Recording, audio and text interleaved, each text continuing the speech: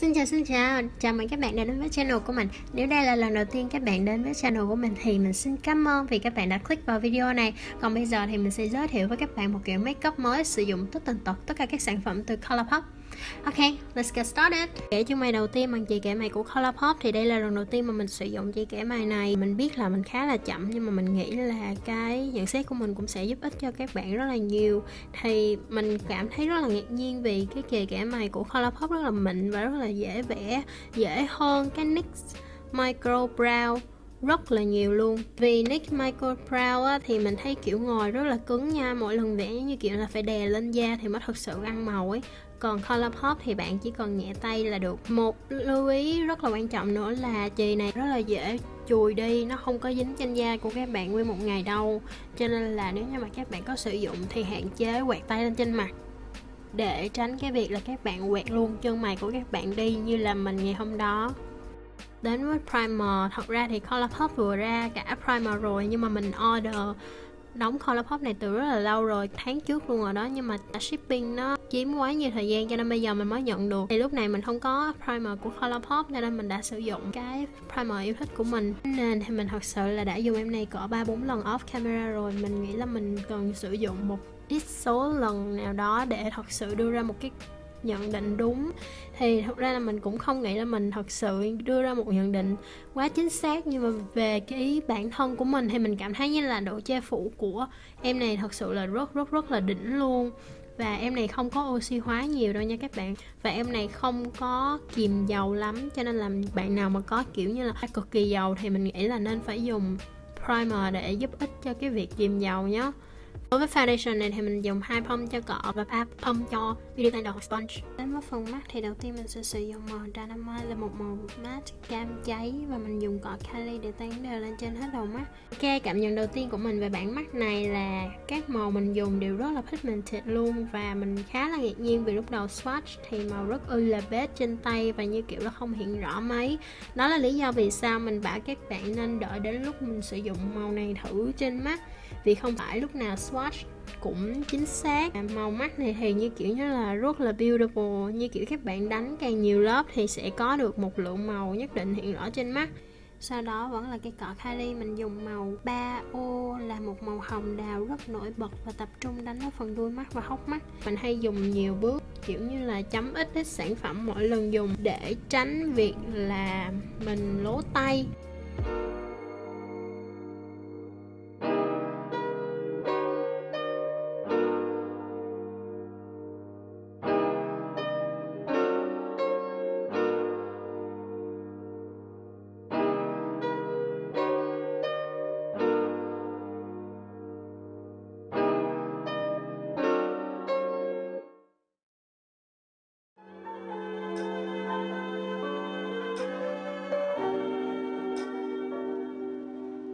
Mình dùng cọ Morphe B38 sạch để tán tất cả các màu đều ra. Mình dùng số bột phấn còn lại trên cọ Kylie lúc nãy chỉ để đi lại vùng hốc mắt một tí cho rõ màu.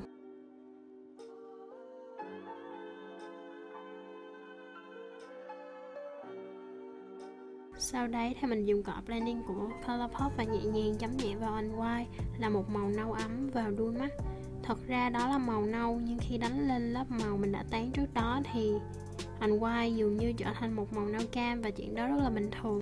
Các bạn cứ thao tác như trong video. Lưu ý là lấy từng tí từng tí sản phẩm một thôi để dễ chỉnh sửa.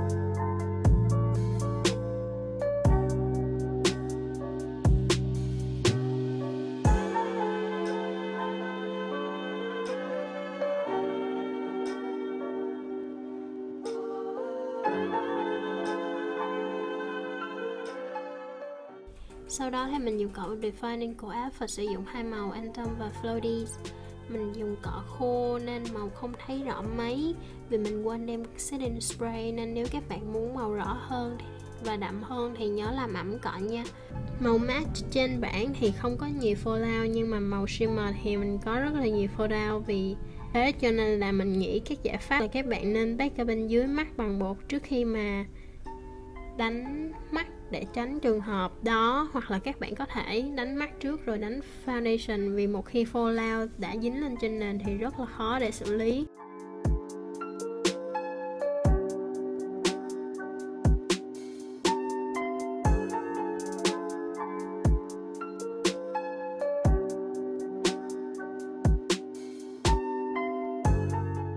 Đánh thêm tí màu nâu để nhấn đuôi.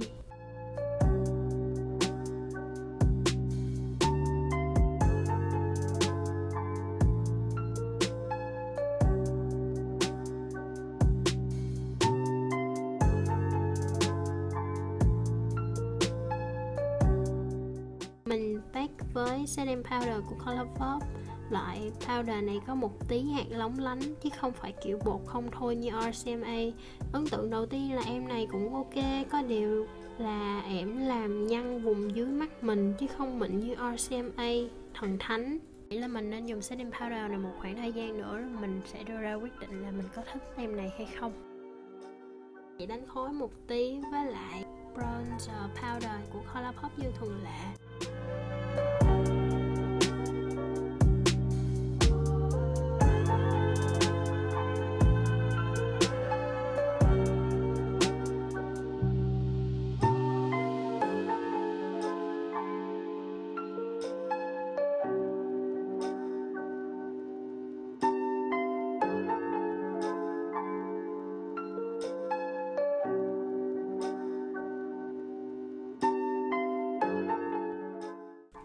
các bạn đã thấy thì fallout vẫn còn trên mặt mình và sau khi mình cố phủi với đống powder.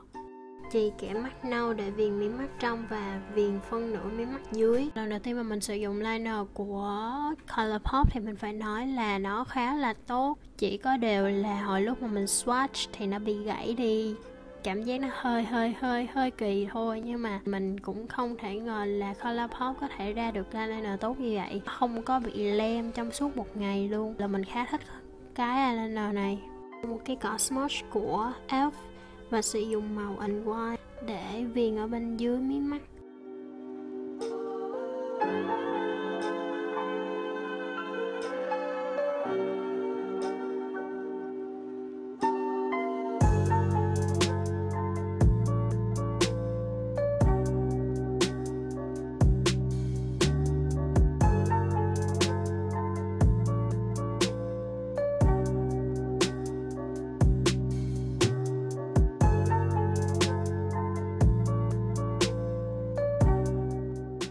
Mascara thì mình dùng của Maybelline vì Colourpop không có mascara.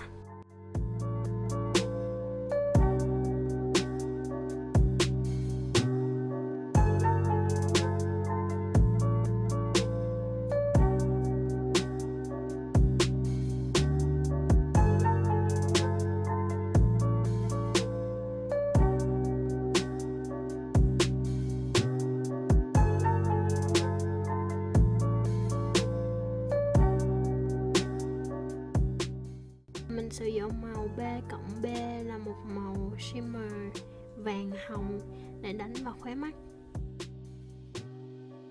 Ok, má hồng thì đây là màu duy nhất mà mình có của Colourpop. Màu này cũng không hẳn là hợp với kiểu makeup này Nhưng mà không sao. Mình sẽ chỉ đánh một chút xíu lên thôi. còn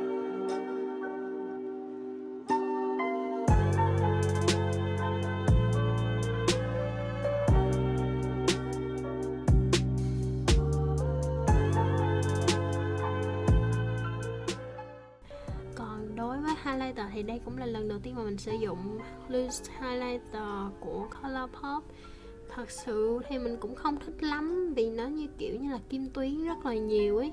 Kiểu chỉ lấp lánh chứ không phải là kiểu highlight như là frame. Nhưng mà nếu các bạn thích cái effect của highlight trên mặt mình thì mình cũng khuyến khích các bạn nên dùng thử vì nó cũng khá là đặc biệt và giá cũng khá là rẻ nữa son thì mình sử dụng combo của Common Sis và U từ bộ sưu tập của Sela và Colourpop và như vậy là đã xong cái tutorial rồi.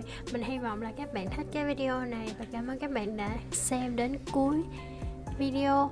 À, đừng quên like và subscribe channel của mình nha. Và mình sẽ gặp lại các bạn trong video lần tới. Bye!